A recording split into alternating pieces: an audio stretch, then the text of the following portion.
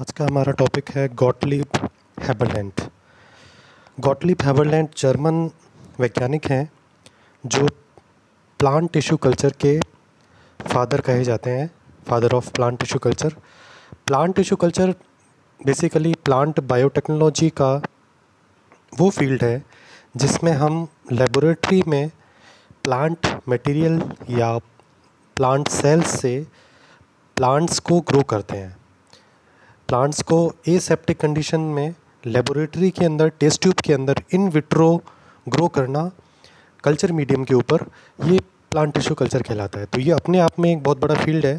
Plant biotechnology के अंतर्गत आता है और प्लांट बायोटेक्नोलॉजी के सिलेबस में पेपर में काफ़ी बड़ा इसका पोर्शन होता है और बिना प्लांट टिश्यू कल्चर जाने प्लांट प्लांट जेनेटिक इंजीनियरिंग करना भी ऑलमोस्ट इम्पॉसिबल होता है क्योंकि आप जब किसी प्लांट सेल को ट्रांसफॉर्म कर लेते हैं जेनेटिकली इंजीनियर कर लेते हैं तो उस एक सेल से आपको पूरा प्लांट रीजनरेट करने की आवश्यकता होती है। तो लेबोरेटरी में प्लांट प्लांट्स को कल्चर करना अंडर ए सेप्टिक कंडीशन उसको बोलते हैं प्लांट टिश्यू कल्चर तो गॉटलिप हैबरलैंड जर्मन वैज्ञानिक हैं, जिन्होंने सबसे पहले प्लांट टिश्यू कल्चर की अवधारणा को एक एक्सपेरिमेंट के लेवल तक पहुँचाया। इससे पहले एक और वैज्ञानिक का नाम आता है हरमन वॉचटिंग। वॉचटिंग जो हैं, ये ये भी जर्मन वैज्ञानिक हैं। इन्होंने पोलरिटी ऑफ़ कटिंग्स पर काम किया था। पोलरिटी ऑफ़ कटिंग्स पर क्या काम किया था इन्होंने?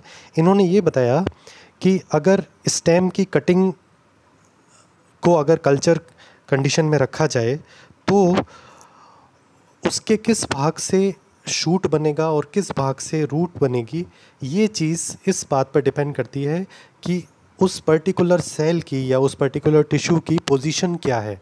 पोलरिटी के आधार पर। पोलरिटी मतलब अगर रूट की तरफ़ है, ऊपर की तरफ़ है शूट शूट वाले पोल की तरफ़ है, ऊपर की तरफ़ है तो शूट बनेगी वहाँ से और नीचे वाले पोर्शन से रूट बनेगी। तो इसका मतलब इसका कंक्लूज़न क्या है? इसका कंक्लूज़न ये है कि सेल की रिलेटिव पोजीशन किसी भी टिश्यू पार्ट या बॉडी पार्ट पर ये चीज़ डिसाइड करती है कि उस वहाँ पर कौन सा ऑर्गन डेवलप होगा। तो वॉचटिंग जो थे वो सबसे पहले टिश्यू कल्चर की आ, हम ये मान सकते हैं कि हेबरलैंड से भी पहले उन्होंने एक हाइपोथेसिस प्रपोज की थी। जैसे जैसा कि इस थर्ड पॉइंट में मैंने लिखा हुआ है ही observe that cells along the stems length are capable of forming root as well as shoot, but their destiny is decided by their relative position in the cutting. Cutting में उन sales की क्या position है? उनको उन उस, वो चीज़ decide करती है कि वहाँ से रूट बनेगी या शूट बनेगी। तो वॉचटिंग के बाद में अठारह या 1902 के बीच में हेबरलैंड का काम आता है और हेबरलैंड ने सबसे पहले कल्चर के अंदर प्लांट्स को ग्रो करने का प्रयास किया। तो ये जर्मन बॉटनिस्ट थे फा, father of plant tissue culture कहते हैं इनको और इन्होंने फुली डिफ्रेंशिएटेड सेल्स को कल्चर करने का प्रयास किया। डिफ्रेंशिएटेड सेल्स का मतलब वो सेल है जो कि विभेदित हो चुकी है। पर्टिकुलर काम करने के लिए किसी विशेष काम को करने के लिए कोई विशेष आकृति ले चुकी है उसमें कोई विशेष फ़ंक्शन या विशेष स्ट्रक्चर डेवलप हो चुके हैं। तो ऐसी सेल्स को अपन बोलते हैं डिफ्रेंशिएटेड सेल्स तो उनका एक छोटा सा यहाँ पर एक कोट दिया गया है, जहाँ पर ये अपन देख सकते हैं कि प्लांट टिश्यू कल्चर की जो फ्यूचर में डेवलप होने वाला जो साइंस था, उसकी अवधारणा को उन्होंने किस तरह से कंसेप्चुलाइज किया था उस समय, किस तरह से उन्होंने सोचा था। फोर्थ फोर्थ पॉइंट में आप देखें, इन्होंने हेबरलैंड ने कहा है To my knowledge, no systematically organized attempts to culture isolated vegetative cells from higher plants in simple nutrient solutions have been made. Yet, the results of such culture experiments should give some interesting insight to the properties and potentialities which the cells as an elementary organism possesses. Moreover, it would provide information about the interrelationships and complementary influences to which cells within a multicellular whole organism are exposed. देखिए यहाँ पर ये जो मैंने red में highlight किया है इसमें एक वर्ड आ रहा है पोटेंशियलिटी पोटेंशियलिटी का मतलब होता है कि प्लांट के अंदर सेल किन सेल टाइप्स में विभेदित हो सकती है वो उसका पोटेंशियल है तो हेबरलैंड ने टोटी पोटेंसी का कॉन्सेप्ट दिया। टोटी पोटेंसी को की परिकल्पना की कि प्लांट की हर सेल के अंदर ये कैपेसिटी होती है कि वो एक पूरा प्लांट बना सके। प्लांट के अंदर, एक मैच्योर प्लांट के अंदर जितनी भी प्रकार की अलग अलग अलग अलग डिफ्रेंशिएटेड सेल्स होती हैं, वो प्लांट की प्रत्येक सेल में कैपेसिटी होती है कि वो अगर उसको प्रॉपर कल्चर मीडियम में रखा जाए तो फ़र्स्ट लाइन में बोलते हैं कि मेरी नॉलेज के आधार पर कोई भी इस तरह का सिस्टमेटिकल सिस्टमेटिकल ऐसा प्रयास नहीं किया गया है आज तक, जिसमें प्लांट को कल्चर किया जाने का प्रयास किया गया हो। तो पोटेंशियल आपको याद रखना है, ये ये जो यहाँ पर पोटेंशियलिटीज़ है, यहाँ पर वो बात कर रहे हैं टोटी पोटेंसी की, कि प्लांट सेल कैपेबल होती है पूरा प्लांट बनाने की। हर प्लांट सेल के अंदर ये कैपेसिटी होती है कि वो एक पूरा कंप्लीट प्लांट बना ले, ये टोटी पोटेंसी है। तो अगर आपसे पूछा जाता है कि टोटी पोटेंसी का कॉन्सेप्ट किसने दिया है तो हेबरलैंड ने दिया है। यहाँ पर देखिए हेबरलैंड ने 1902 में इनका अभी अपन जो इन्होंने जो वियना के अंदर जो अपना रिपोर्टिंग की थी इस इन एक्सपेरिमेंट्स की, उसके आगे बात करेंगे। 1902 में हेबरलैंड ने आइसोलेटेड सेल्स ली सिंगल आइसोलेटेड सेल्स तो यहाँ पर ये ध्यान रखना है आपको कि सिंगल सेल की बात हो रही है, ठीक है? कौन कौन से टिश्यू लिए? लेमियम परप्यूरियम फ़र्स्ट प्लांट दूसरा है आइकॉर्निया क्रेसिपस फिर है ऑर्निथोगेलम की epidermis epidermal hairs of Pulmonaria mollissima तो इसके अंदर आप देखिए कि अलग अलग जो एग्जाम्पल्स हैं लेमियम हो आइकोर्निया हो, या ऑर्निथोकेलम हो, सबके अंदर लीफ टिश्यू को यूज़ किया है, लेकिन जितनी भी सेल्स इन्होंने लिए हैं, वो हाईली डिफरेंशिएटेड हैं डिफरेंशिएटेड सेल्स हैं। तो फ़र्स्ट अटैम्प्ट जो कल्चर का जो किया है, वो हेबरलैंड ने किया है, लेकिन किसके साथ किया है? अलग अलग सेल्स अलग अलग सेल्स के साथ किया है अलग अलग जो प्लांट से ली गई हैं, लेकिन सभी जो सेल्स हैं, वो लीफ की हैं। तो एपिडर्मिस हो, या एपिडर्मल हेयर्स हो, या लेमियम आइकॉर्निया की सेल्स हों, वो सब की सब डिफ्रेंशिएटेड सेल्स हैं। इन्होंने इसको नॉप्स साल्ट सॉल्यूशन जिसके अंदर सुक्रोस है, उसके अंदर ग्रो करने का प्रयास किया और इन्होंने क्या ऑब्ज़र्व किया? ये इस पॉइंट में आ रहा है। ऑब्जर्वेशन में आ रहा है कि सारी सेल्स में ग्रोथ होती है, ठीक है? लेकिन कोई भी सेल डिवाइड नहीं होती। है देखो, आप फोर्थ पॉइंट में देखिए नो सेल्स डिवाइडेड लिखा हुआ है। नो सेल्स डिवाइडेड का मतलब है कि सेल्स कल्चर में ग्रो तो कर रही हैं, लेकिन कोई किसी भी सेल के अंदर कोई भी डिवीज़न नहीं हो रहा है। तो सेकंड पॉइंट में लिखिए देखो इन इन इन कल्चर्ड सेल को इन्होंने एक महीने तक ज़िंदा रखा। कहाँ पर? टिश्यू कल्चर मीडियम के अंदर नॉप साल्ट सॉल्यूशन जो है वो मीडियम का नाम है है ना? जिस कल्चर मीडियम में उनको उगाया गया है, उसके अंदर ग्रो किया गया है, उस, उसके अंदर उसका नाम है नॉप्स साल्ट सॉल्यूशन। उसके अंदर देखिए थर्ड पॉइंट लिखा हुआ है कि इनका साइज़ भी इंक्रीज़ होता है। साइज़ इंक्रीज़ होता है, जीवित रहती हैं, लेकिन कोई भी सेल डिवाइड नहीं हो रही है। तो अगर डिवीज़न नहीं होगा तो सेल्स से प्लांट डेवलप नहीं होगा। तो बेसिकली हेबरलैंड अपने एक्सपेरिमेंट में या अपनी हाइपोथेसिस को एक्सपेरी एक्सपेरिमेंटली प्रूव करने के में असफल हो गए। तो असफल असफलता का कारण क्या है? क्यों असफल हो गए? क्योंकि इन्होंने ये देखो यहाँ पर लिखा हुआ है कि इन्होंने हाईली डिफ्रेंशिएटेड सेल्स ले ली।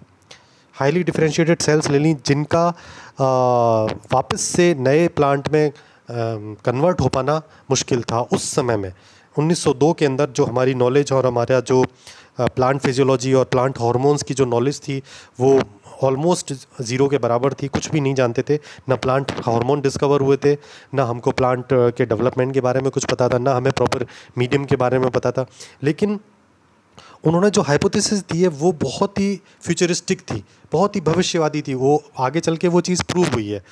तो टोटी पोटेंसी का जो उन्होंने परिकल्पना दी, वो बिल्कुल सही थी, लेकिन वो उसको एक्सपेरिमेंटली प्रूव नहीं कर पाए। क्यों नहीं कर पाए? दो रीज़न आपको बताने हैं इसमें। पहली चीज़ तो ये हाईली डिफ्रेंशिएटेड सेल्स ले ली, और ग्रोथ हार्मोन्स की जो नॉलेज थी, उस समय वहाँ अवेलेबल नहीं थी। ऑक्सीजन साइटोकाइनिन या जिब्रेलिन की उस समय डिस्कवरी नहीं हुई थी कि हम कल्चर मीडियम में उन प्लांट हार्मोन्स को इनकॉर्पोरेट करके सेल्स को डिवीज़न के लिए प्रेरित कर पाए। तो ये चीज़ नहीं हो पाई, लेकिन उन्होंने एक बहुत अच्छा अटैम्प्ट लिया टिश्यू कल्चर में जो आगे चल के सक्सेसफुल हुआ। और ये चीज़ जो है वो बर्लिन में Vienna academy of sciences in Berlin 1902 में जहाँ पर उन्होंने अपनी इस क्लासिक पेपर को प्लास पेपर को पब्लिश किया था रिपोर्ट किया था जहाँ पर first time principles of plant tissue culture की आधारशिला रखी गई, हम ये मान सकते हैं। तो सबसे पहले इसीलिए इनको father of plant tissue culture बोलते हैं। तो ये जो एक्चुअल में ये जो पूरा सेंटेंस है, ये एस एस भोजवानी की एक बहुत ही क्लासिक बुक है, जिसको मैं हाईली रिकमेंड करता हूँ। वो ये आपको ज़रूर पढ़नी चाहिए। टिश्यू कल्चर प्लांट बायोटेक्नोलॉजी का कोई भी बच्चा हो, उसको ये ज़रूर पढ़नी चाहिए। तो इससे आगे बढ़ते हैं और एस एस भोजवानी में और कुछ सीधे डायरेक्टली मैंने वहाँ से ले लिए हैं और मैंने बाकायदा उनको कोट किया है भोजवानी को कि देखिए, इसमें कुछ पॉस्टुलेट्स बताए हैं, कुछ अवधारणाएँ बताई हैं जो हेबरलैंड ने दिए हैं। इसमें एक रेड में सेकंड से रेड कलर में एक सेकंड पॉइंट लिखा हुआ है।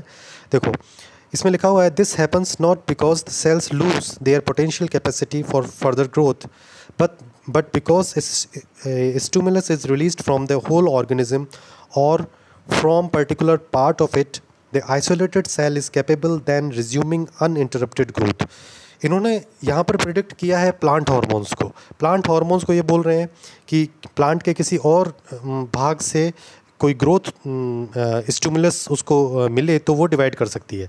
इसकी बात हो रही है। इसको ये अगले पॉइंट में मैंने लिखा है, इन ग्रोथ हार्मोन को उन्होंने उस समय ग्रोथ एंजाइम के नाम से आ, उसको प्रपोज किया। And felt these are release from one type of cell and stimulate growth and development in other cell इन्होंने ये ये बात कही कि एक स्थान से अलग एक ग्रुप ऑफ़ सेल से निकलते हैं और दूसरी जगह पर जाकर दूध प्लांट के दूसरे पार्ट में जाकर ग्रोथ या डेवलपमेंट को स्टिमुलेट करते हैं। तो बेसिकली इन्होंने किस चीज़ को प्रोडिक्ट किया? इन्होंने इस बात को प्रोडिक्ट किया पहला तो इन्होंने टोटी पोटेंसी को प्रोडिक्ट किया। दूसरा इन्होंने प्रोडिक्ट किया कि प्लांट हार्मोन्स जो हैं वो डेवलपमेंट में मेन रोल प्ले कर सकते हैं, जिससे कल्चर मीडियम में हम सिंगल सेल्स को या सेल्स ऑफ़ ग्रुप को हम प्लांट पूरे के पूरे प्लांट के अंदर ग्रो कर सकते हैं। तो ये बहुत ही फ्यूचरिस्टिक बात इन्होंने बोली है। विंकलर के 1901 के जो ऑब्जर्वेशन थे, उसके आधार पर इन्होंने एक नई बात और बोली, जिसको मैंने पूरा इटैलिक में दिया हुआ है। फ़र्स्ट पैराग्राफ है। हेबलैंड बोलते हैं it would be worthwhile to culture together in hanging drops vegetative cells and pollen tubes perhaps the latter would induce the former to divide he continues one could also add to the nutrient solutions used and extract from the vegetative apices or else culture of the cells from vegetative apices. One might also consider utilization of embryo sac fluid इन्होंने ये बताया कि किस आ, ऐसा tissue है जहाँ से ये हम प्लांट हार्मोन को प्राप्त कर सकते हैं जहाँ से दूसरे किसी प्लांट के टिश्यू में ग्रोथ इंड्यूस की जा सकती है। यहाँ पर ये बोल सक बोल रहे हैं पोलन ट्यूब या वेजिटेटिव अपाइसिस या फिर एम्ब्रियोसेक का fluid embryo sac pollen tube और वेजिटेटिव एपेक्स जो होता है वहाँ पर जो ये प्रिडिक्ट कर रहे हैं कि वहाँ पर जो ग्रोथ एंजाइम्स हैं, वो दूसरे सेल जो डिवाइड नहीं हो रही है उसको डिवाइड होने के लिए प्रेरित कर सकते हैं। तो देखो, इसमें नेक्स्ट फाइनली जो इसमें रेड में सेकेंड पैराग्राफ में लिखा हुआ है one should successfully cultivate artificial embryos from vegetative cells है ना? I believe in conclusion that I am not making too bold a prediction if I point out to the possibility that in this way one should successfully cultivate artificial embryos from vegetative cells. ये बहुत ही important बात बोल रहे हैं इन्होंने लिखा है I believe कि मैं बहुत ज़्यादा बोल्ड बात नहीं बोल रहा हूँ ये इस बात की संभावना व्यक्त करते हुए कि इस प्रकार से आर्टिफिशियल एम्ब्रियो को वेजिटेटिव सेल से ग्रो किया जा सकता है ये बहुत ही इंपॉर्टेंट प्रिडिक्शन है। हम सब जानते हैं, आप भी आगे चल के पढ़ेंगे कि सोमेटिक एम्ब्रियोज बनते हैं वेजिटेटिव सेल से। तो यहाँ पर इन्होंने सोमेटिक एम्ब्रियोजेनेसिस की भी बात कर दी है। तो टोटीपोटेंसी की बात कर दी। ग्रोथ हार्मोन की बात बात कर दी है नर्स टिश्यू की बात कर दी है, ये जो पोलन ट्यूब्स हैं वेजिटेटिव एपेक्स है एम्ब्रियो सेक फ्रूट है, ये हार्मोन रिच होते हैं। ये आगे चल के हम पढ़ेंगे कि अगर इसको नर्स टिश्यू के रूप में यूज़ किया जाए तो सिंगल सेल को ये डिवाइड करने के लिए प्रेरित कर सकते हैं। और यहाँ पर रेड कलर में जो हाईलाइट किया हुआ है, इसमें ये सोमेटिक एम्ब्रियोजेनेसिस को प्रिडिक्ट कर रहे हैं। तो आगे चल के सोमेटिक एम्ब्रियोजेनेसिस भी अलग से एक टॉपिक आएगा, उसको अपन अलग से लेंगे। तो यहाँ पर इन्होंने फाइनली इस बात को बोला है कि इस तरीके से हम सोमेटिक एम्ब्रियोस को आर्टिफिशियल एम्ब्रियोस को हम बना सकते हैं और उससे पूरा का पूरा प्लांट रीजनरेट किया जा सकता है।